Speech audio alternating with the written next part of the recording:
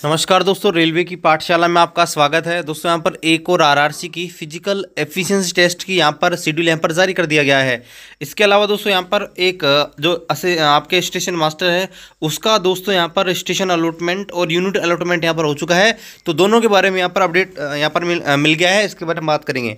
चलिए शुरू करते हैं आज के इस वीडियो को। उससे पहले रिक्वेस्ट है रेलवे भर्ती के लेटेस्ट एंड ऑथेंटिक अपडेट पाने के लिए चैनल को भी सब्सक्राइब करें। दोस्तों यहाँ पर डब्ल्यू जो है वेस्ट सेंट्रल रेलवे यानी कि जबल जबलपुर उसकी तरफ़ से यहाँ पर फ़िज़िकल एफिशिएंस टेस्ट की यहाँ पर डेट यहाँ पर अनाउंस हो चुकी है। यहाँ पर दोस्तों आप देखेंगे तो यहाँ पर ये नोटिस है ऑफिशियल नोटिस जस्ट थोड़ी देर पहले यहाँ पर जारी किया गया है वेबसाइट के ऊपर। शारीरिक दक्षता परीक्षा यानी कि पीटी के कार्यक्रम संबंधित महत्वपूर्ण सूचना।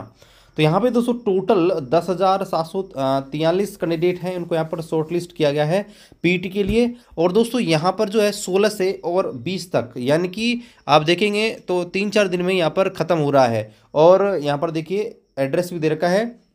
एक आपका रेलवे स्टेडियम दूसरा रेलवे ब्रिज के पास और यहाँ पर स्टेट बैंक ऑफ़ इंडिया मुख्य शाखा के सामने जबलपुर में यहाँ पर आयोजित किया गया है और यहाँ पे आप देखेंगे तो पूरा यहाँ पर बता रखा है किस किस डेट को यहाँ पर है तो यहाँ पर आप देख सकते हैं देखिए यहाँ पर जो 16 तारीख है उसमें केवल जो मेल कैंडिडेट है उनको बुलाया गया है 1500 कैंडिडेट को और यहाँ पर आप देख सकते हैं तो कैंडिडेट इतने से रोल नंबर इतने से लेकर इतने तक के यहाँ पर बुलाया गया है सत्तर तारीख को आप देख सकते हैं तो यहाँ पर पुरुषों को बुलाया गया पच्चीस को और यहाँ पर इतने इतनी रोल नंबर से इतने रोल नंबर अठारह को भी केवल मेल कैंडिडेट को बुलाया गया है, पच्चीस सौ लोगों को इतने रोल नंबर से, इतने रोल नंबर। उन्नीस को भी इतने रोल, आपके पच्चीस सौ लोगों को बुलाया गया, इतने रोल नंबर से लेके इतने रोल नंबर तक।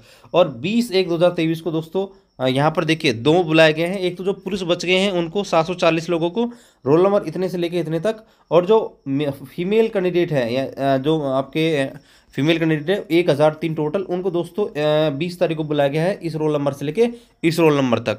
और यहाँ पर टोटल दस हज़ार सात सौ तिरालीस कैंडिडेट को यहाँ पर बुलाया गया है।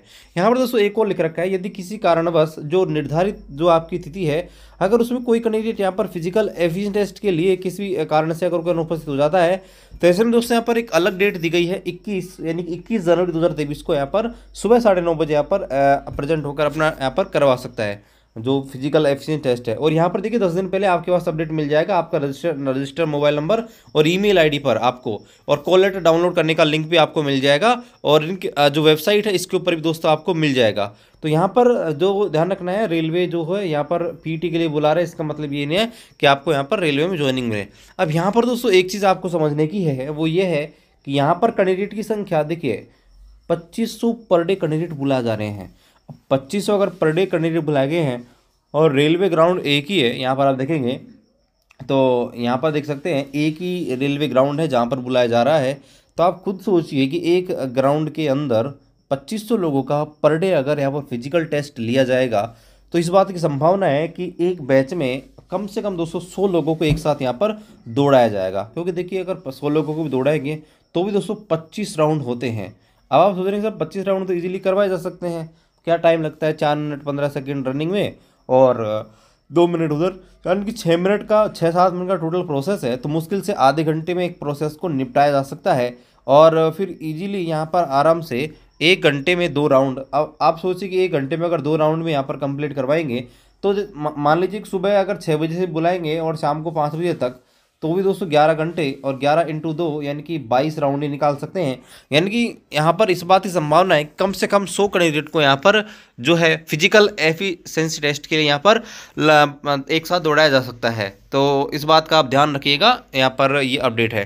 दूसरा यहाँ पर देख लेते हैं, जो स्टेशन मास्टर का अपडेट है, उसको देख लेते हैं। तो यहाँ पर देखिए, ये रहा वो अपडेट और यहाँ पर आप देख सकते हैं post category number two station master और यहाँ पर देखिए प्रोविजनल पार्ट पैनल वन यहाँ पर जो है, ये अलाहाबाद का है, अलाहाबाद बोर्ड का, और यहाँ पर देखिए पोस्ट जो है अलॉटमेंट कर दी गई है, और यहाँ पर आप देख सकते हैं, जैसे ये जो रोल नंबर है, ये इनका कैंडिडेट का नाम है इनके फादर का नाम है, ये इनकी डेट ऑफ़ बर्थ है, और इन, इनको दोस्तों किस कैटेगरी में रखा गया है, वो है, और इन्हें कौन सा डिवीज़न अलॉट किया गया है तो आप देख सकते हैं, यहाँ पर झांसी, और यहाँ प्रयागराज, यहाँ पर पूरा जो भी है, यहाँ पर डिवीज़न अलॉटमेंट हो चुका है और टोटल यहाँ पर जो कैंडिडेट है टू सिक्सटी एट सबका यहाँ पर हो चुका है। किस कैटेगरी में हुआ है और यहाँ पर आ, किस डिवीज़न में इनको मिला है सब कुछ यहाँ पर अपडेट दे दिया गया है।